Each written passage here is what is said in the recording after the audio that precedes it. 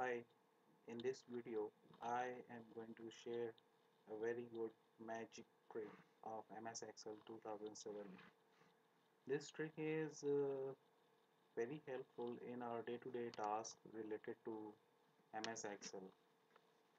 I have one data here in C column and I want this kind of output using this data so what I need to do is copy the filled cell and pasting down till I get the next filled cell. So this task could be very much time consuming. I can do this task using a very simple trick. We can select the range on home tab in editing segment click on find and select then select the go to option. Let me select again. Find and select and go to option.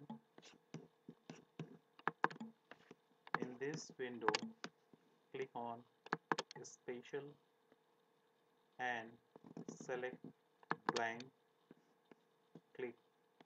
ok now at this stage we can see that C4 is selected. Sorry yes. C4 is selected.